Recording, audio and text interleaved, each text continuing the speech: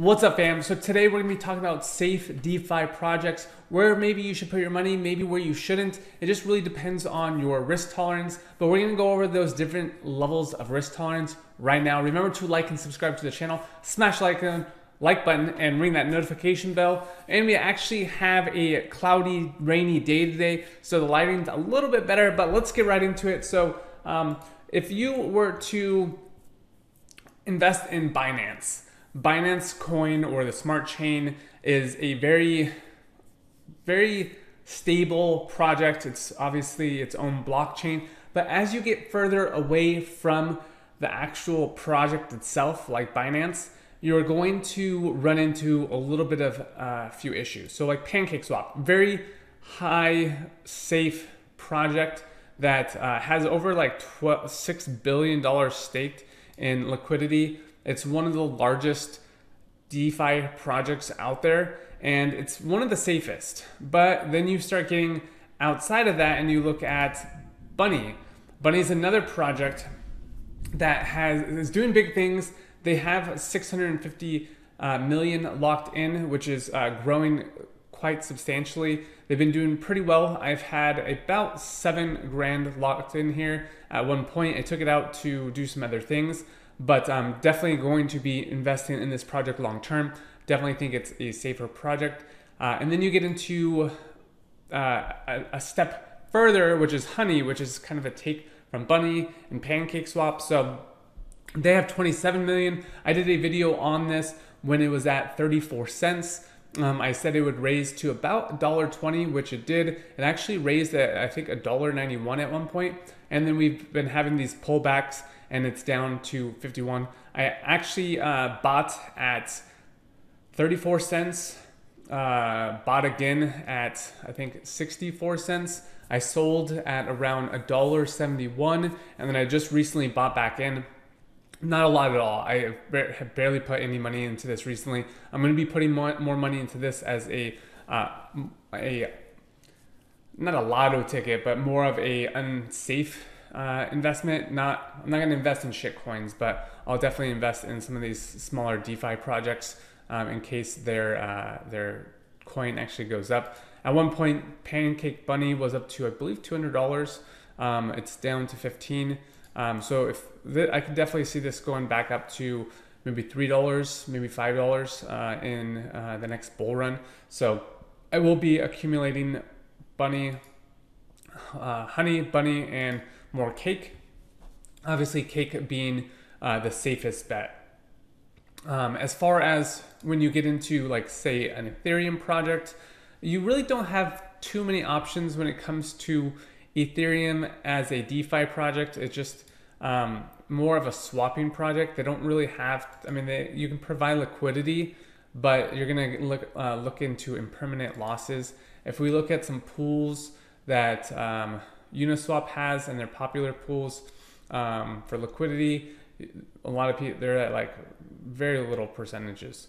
So um, it's just because the gas fees are so high. Maybe with a layer two solution coming up, um, it will be a way to uh, jump into some of these projects where they're doing proof of uh, staking versus proof of work, and fees might drop and all sorts of things. So we'll definitely see. But as of right now, there's really no good DeFi projects. As far as uh, the last one, if we look at, say, a Matic, we have um, the whole Matic network, which is Polygon. And so let me see if I can just. There we go. Um, so this is Polygon, previously known as Matic Network. Uh, very fast, faster than I want to say, uh, and cheaper than Binance. Um, but it's very, very uh, great project. I am heavily, not heavily invested, but I, I have quite a bit of money in the Polygon network. I think that it is has a lot of potential, and it's kind of the one no one really knows about yet compared to like Ethereum or, or uh, chain, um, not Chainlink, um, Bitcoin or uh, Binance. I think Polygon is one of those hidden gems that a lot of people are sleeping on.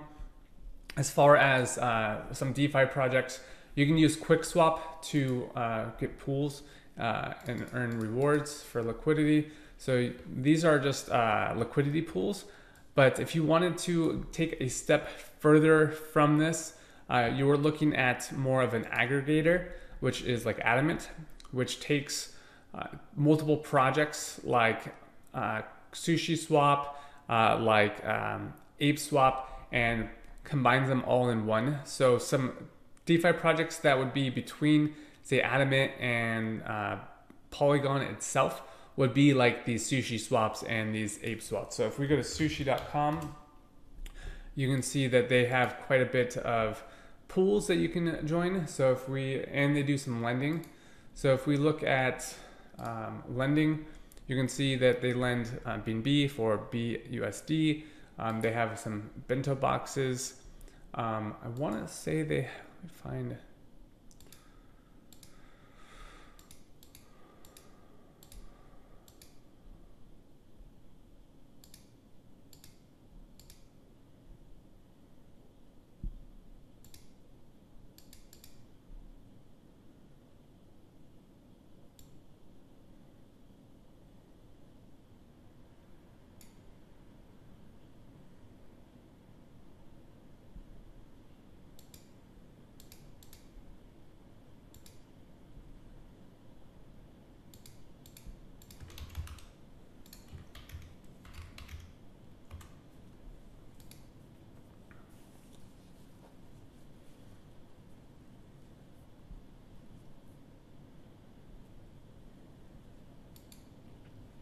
So if you wanted something, say between Adamant and uh, say using Polygon, you can look at Ape uh, Swap, which is a kind of like Pancake Swap. I don't know what kind of fork it is, but there there's all sorts of different ones.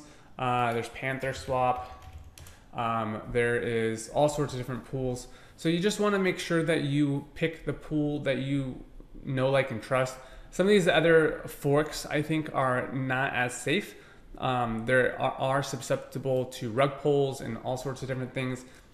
Ape and Pancake and Sushi, all of these have been around for a while. So it just really depends on your trust in the project.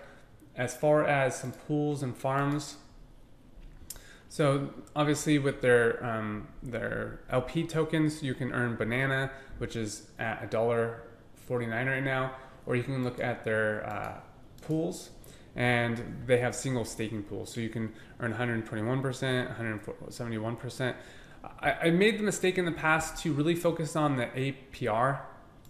And um, if you're chasing APR, that this doesn't really matter if the price is zero or drops 50% because you won't make that APR with um, if it drops 50%.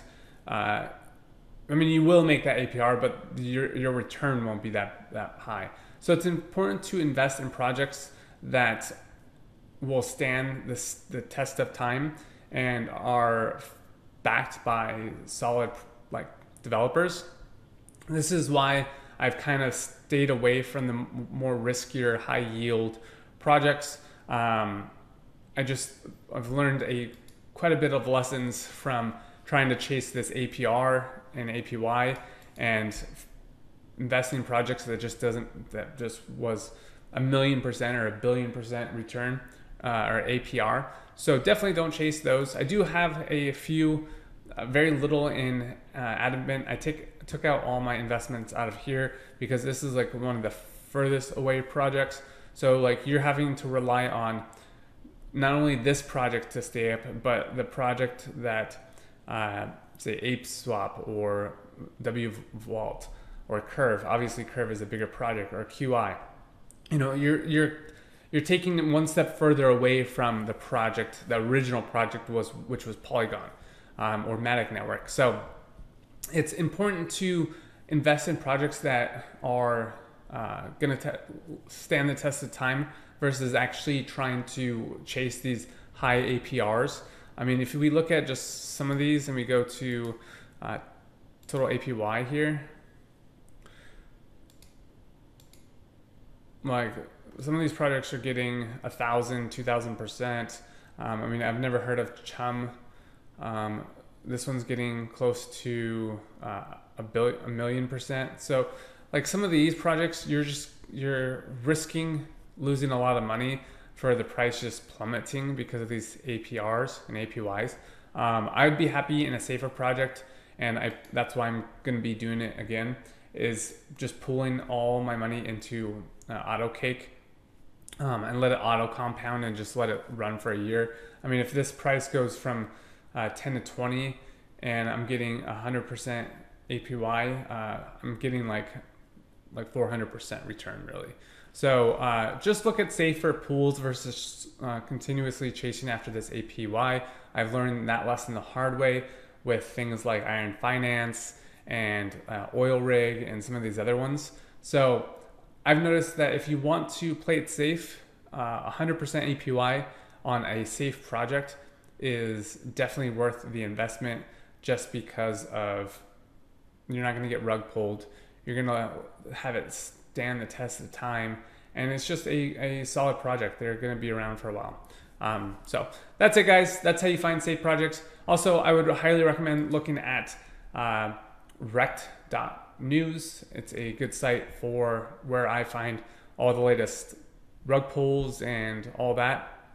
Um, as far as another resource, I find that RugDoc is not very I think they're more into the profits versus reporting um, good reports. I don't think they, they do their uh, their